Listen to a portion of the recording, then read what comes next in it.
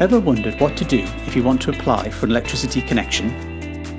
First we need to know a few things about you, like your name and your address, and of course a little about what you need to connect, like the location of the site you need a connection for.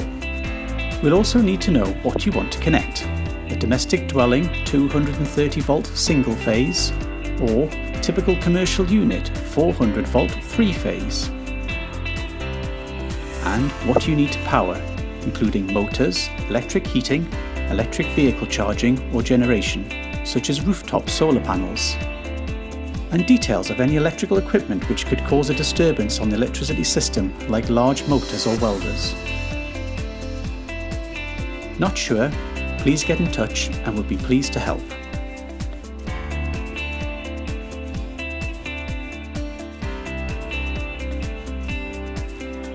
If you need a quotation for one house, we guarantee to send it within 5 working days, and more quickly if we can.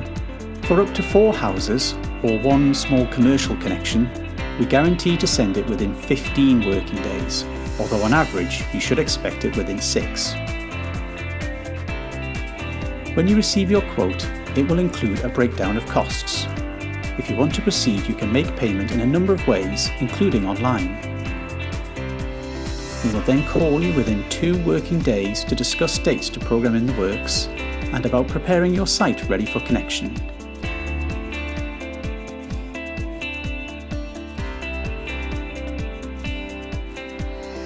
To ensure everything goes smoothly on the day, you will need to prepare the site ready for us to make the connection. It is important to work safely and that you contact other utilities to find out if they have apparatus in the vicinity you can call us to find out more about the location of our equipment and how to work safely. If you opted to carry out the excavation works on your land, you need to ensure that the trench is the correct depth, as it will vary according to the service route, or deeper depending on the surface type. For example, it will need to be deeper if laid in agricultural land. Our quote will advise. If ducting is required, it must be black electricity duct. Lay electricity warning tape along the length of the cable or duct for mains and services. We can provide ducting and tape as part of your connections quote, and cover over with stone dust bedding before backfilling the trench.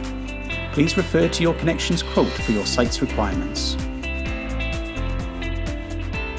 This trench should be as straight as possible, avoiding sharp bends the route of the cable is to go around a 90 degree bend, say the corner of a property, this bend must have a slow radius. And if over 30 metres, you will need to leave cable draw pits open. You must remember to install a draw cord through the ducting if it is over 5 metres to help us install the cable. No excavation for the cable route should run under any building structure. The route should always be on the exterior of any footings you will need to install a meter box before the day of connection. We can include the cost in your quote and you can pick one up by appointment from our local depot. You will then need to arrange for an electricity meter to be installed by your appointed energy supplier. This cannot be installed prior to any and all WPD works being completed.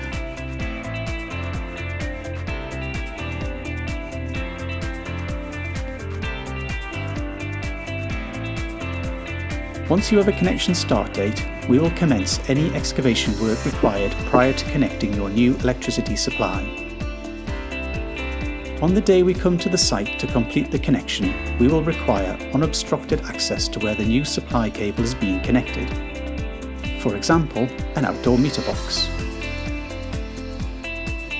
Connecting up your electricity supply to our network normally takes around half a day, depending on the size and complexity of the job.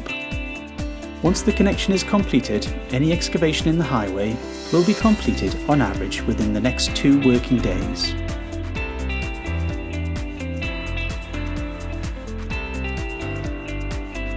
For more information about connecting to our electricity network, including application forms and contact details, please visit our website. Thanks for watching. Western Power Distribution, serving the Midlands, South West and Wales.